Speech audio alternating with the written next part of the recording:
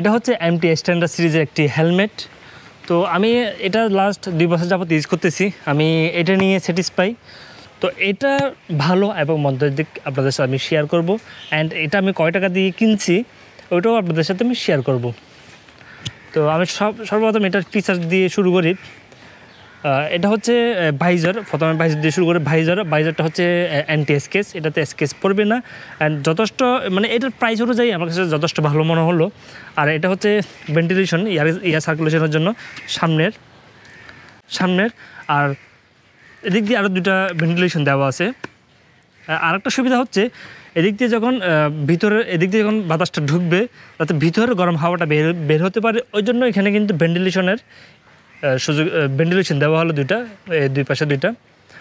Indian version যেটা আছে Indian ভার্সনে কিন্তু এই সিস্টেমটা নাই।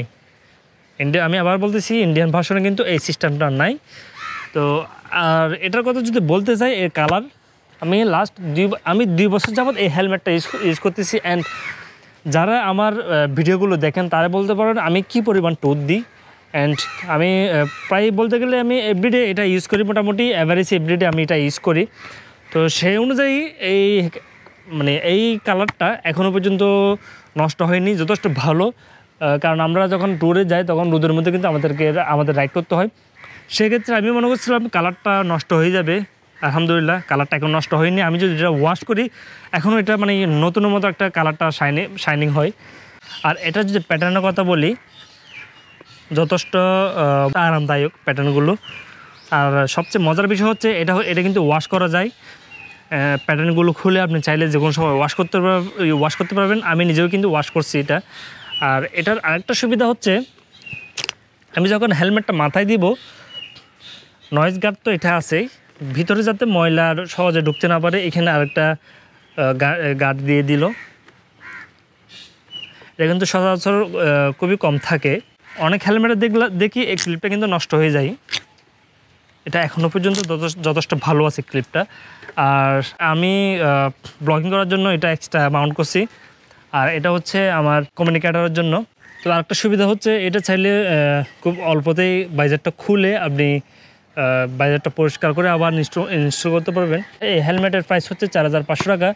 তবে এই ভাই, ভাইজর, এটা যদি আপনি নতুন করে নেন, তাহলে এই ভাইজর দাম হচ্ছে আটশো থেকে প্রায় এক হাজার টাকা নেই। এই হেলমেটের ভাইজরটার প্রাইস হচ্ছে আটশো থেকে এক হাজারের মধ্যে। আমার মনে হয় চার হাজার পাঁচশো টাকা বাজেটের মধ্যে ডুয়েল সার্টিফাই হেলমেট যথেষ্ট ভালো এবং কমফোর্টেবল একটা হেলমেট বলে আমার কাছে মনে হয়।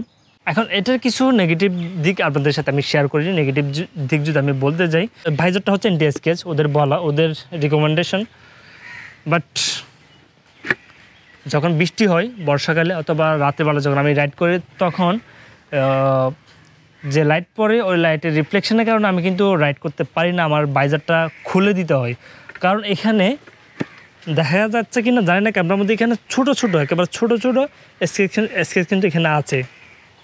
ছোটো ছোটো স্কেচের কারণে আমি কিন্তু এটা দিয়ে রাতে রাইড করতে পারি নাই।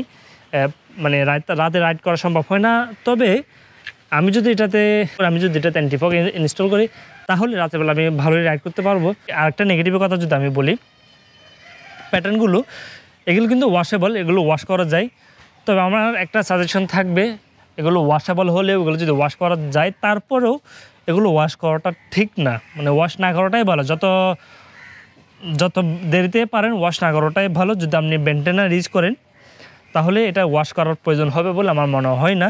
কারণ আপনি যখন এটা খুলে ওয়াশ করবেন তখন এই প্যাটার্নগুলো কিন্তু পাতলা হয়ে যায় অথবা প্যাটার্নগুলো নষ্ট হয়ে যায়। আর এটা অ্যাডজাস্টেবলটা প্রপারলি হয় না। আমার প্যাটার্নগুলো এখন খুলে যাচ্ছে এই অবস্থা।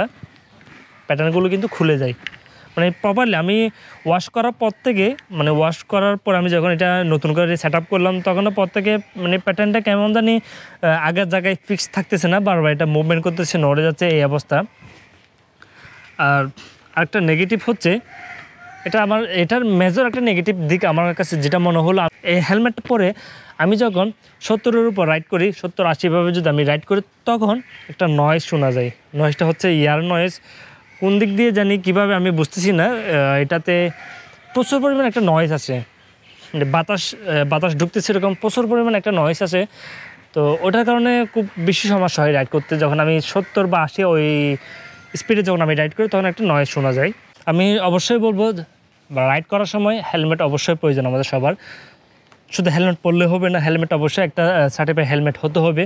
কারণ দুই লাখ বা তিন লাখ টাকা দিয়ে যদি আমরা বাইক নিতে পারি, তাহলে চার হাজার বা পাঁচ হাজার পাঁচ হাজার বা পাঁচ দশ হাজার দিয়ে একটা যদি ভালো মানের হেলমেট না নিই যে কোনো সময় আমাদের সাথে অঘটন কিন্তু ঘটতে পারে। তো সেক্ষেত্রে আমার মনে হয় সার্টিফাইড একটা হেলমেট আমাদের অবশ্যই এটা সোহাবের জন্য হোক বা নিজের সেফটির জন্য হোক এনিওয়ে যে কোনো কারণে আমাদের একটা সার্টিফাইড হেলমেট ইউজ করা অবশ্যই প্রয়োজন। তো আমি অবশ্যই বলব রাইড করার সময় একটা ভালো মানের হেলমেট ইউজ করবেন। আপনি নিজে কীভাবে ক্লাস প্লেট চেঞ্জ করবেন ক্লাস প্লেট ক্ষয় হয়ে গেলে এটার করণীয় কী এইসব বিষয় নিয়ে এবং টোটাল কথা হচ্ছে বাইক রিলেটেড অনেক ইনফরমেটিভ ভিডিও আমার চ্যানেলে দেওয়া আছে ডিসক্রিপশন বক্সে আমি দিয়ে রাখব। তো চাইলে আপনারা একবার ঘুরে আসতে পারবেন। তো যদি ভিডিওটা ভালো লাগে, অবশ্যই লাইক কমেন্ট করবেন। তো আজকে ভিডিওটা এখানে শেষ করলাম। সবাই ভালো থাকুন, সুস্থ থাকুন। আল্লাহ হাফেজ।